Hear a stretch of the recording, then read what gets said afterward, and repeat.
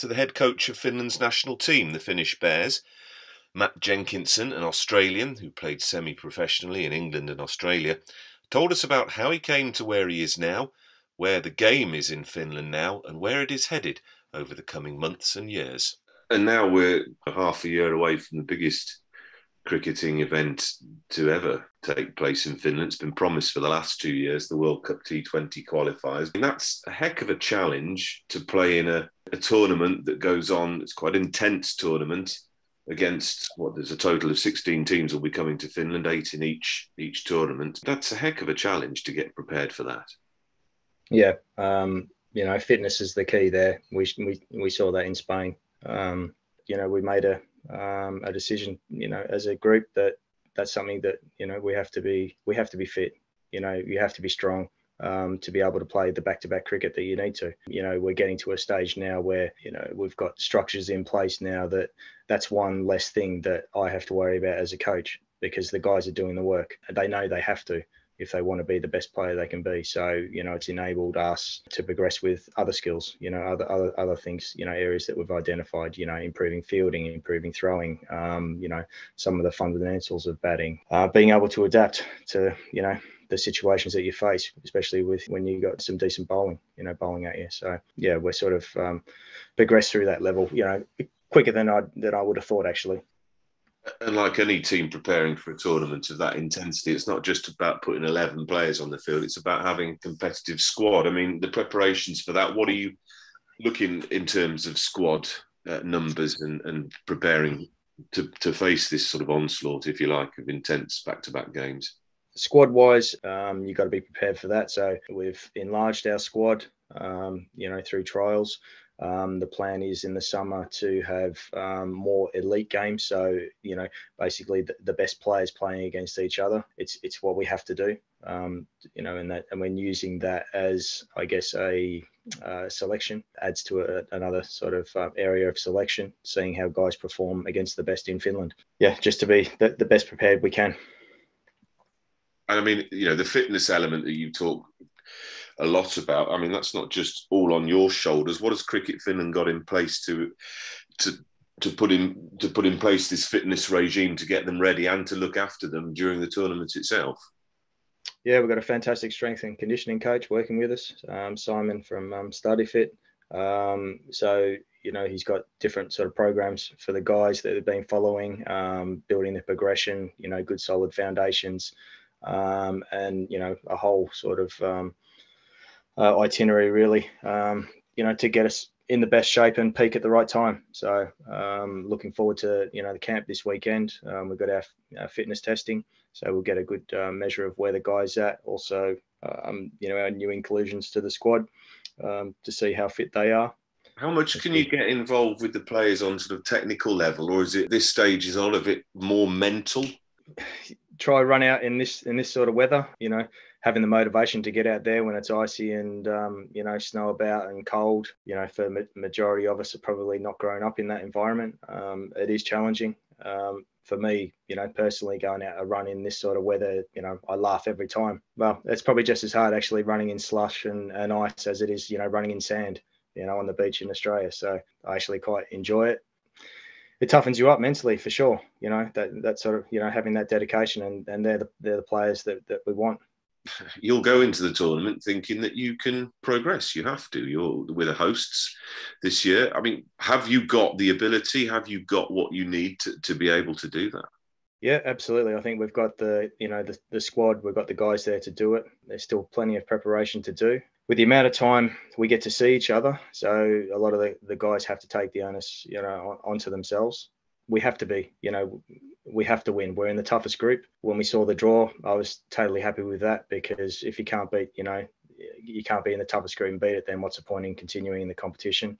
Um, but what it means for cricket in Finland, it's a huge deal because, you know, the the ranking points and and the additional funding for winning that part of the tournament, you know, it's it's a massive change for cricket in um, in Finland. You know, for for us to be able to develop and you know progress the game, um, you know, to help us be more you know sustainable with the sport here in you know in a developing nation. So it's what all developing nations are you know trying to do. So every country um, that's going to be at the tournament is going to be eyeing the same thing. We had a very successful tri series with, with Sweden where it was proved that Cricket Finland can host these kind of events. It is a real opportunity to show off what there is here, isn't there? And actually, you know, to show off strengths that we have in Finland that perhaps other countries would be rather envious of. Yeah, absolutely. Um, it's incredible. You know, I'll never forget my first time at the National Ground in Kadarava you know, you could have been any, you know, it was better than most grounds in the, you know, in the UK. You know, the the nice picket fence around there. You know, beautiful, a large size, you know, uh, a decent sized ground. Yeah, it's, it's quite phenomenal, really. That yeah, there it is in, um, you know, in Finland, and and now with our uh, partner, um, Sporting sort of excellence in in Eerikkilä, um, to actually have some indoor facilities in this country is just a you know huge, um, huge development step um, you know, not only for for uh, the national team, but also you know the clubs as well, the local clubs that you know are able to actually train indoors now through the winter. It's just a game changer, you know, for us. We're incredibly fortunate, and you know, it's just a credit to the work that um, Cricket Finland has been doing behind the scenes. I'm independent from any of the clubs, so um, not being here that long really in the country and around, um, you know, the cricketing setup here, but just what's developed so far is just incredible, and um, you know, it's a testament to Cricket Finland well, the ICC see it because they've you know given them a tournament. Just going back one last thing, Matt, just about the uh, of selection for the for the tournament. I mean, how difficult is it then to to, to pick and choose your 11s for each for each game, and how how would you go about that?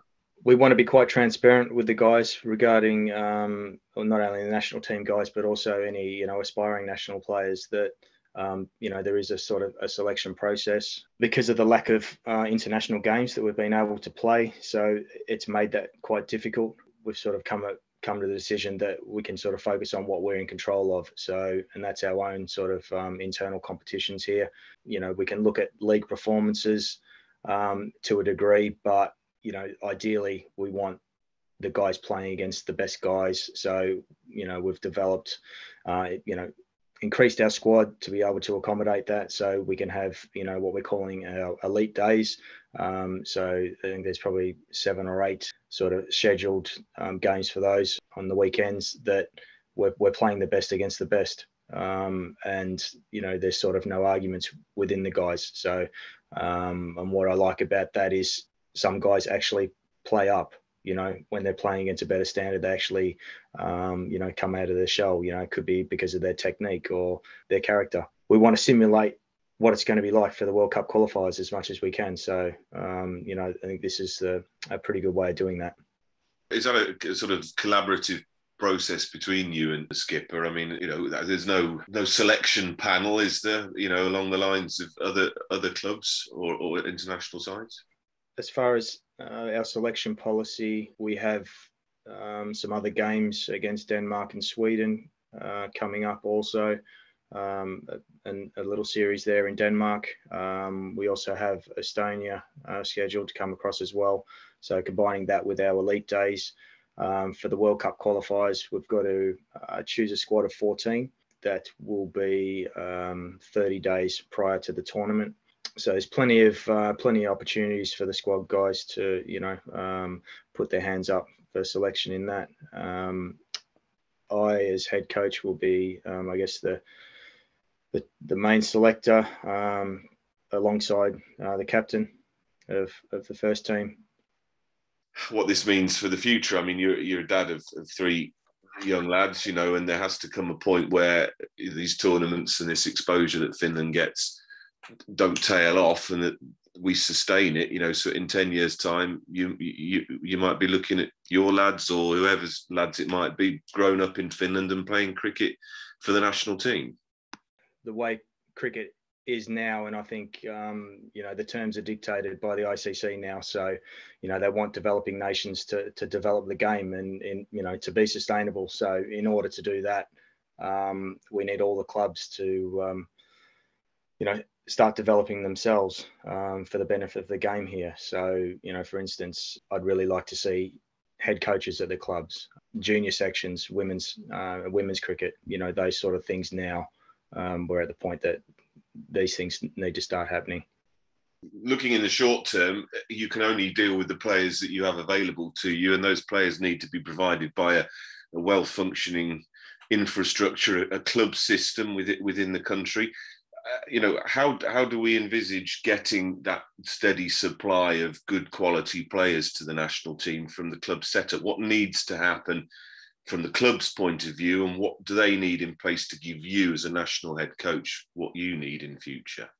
Uh, the ICC now have, have, made progress with that, which will um, help us immensely. So um, they're looking at programs to help develop our club coaches, um, where we can we can you know facilitate that um, in Finland as well, which would be brilliant. Um, ideally, you know, what I'd like to see is each club having a head coach, um, and those head coaches, you know, just like it, like you know, any other country in the world, they're your national team's eyes and ears as far as you know potential sort of development. Um, you know, identifying the talent that that's around there. You know, looking to put put together you know uh, development um, squads, um, you know, particularly in the juniors, and you know, just um, feeding into you know the national team. So putting a proper infrastructure in place. I'm looking forward to the future that when you know the, the clubs get to that stage, uh, which is you know it's starting to happen. You know, and look forward to working with the coaches from various clubs. Um, would just you know bring the cricket on um, a hell of a lot here in Finland.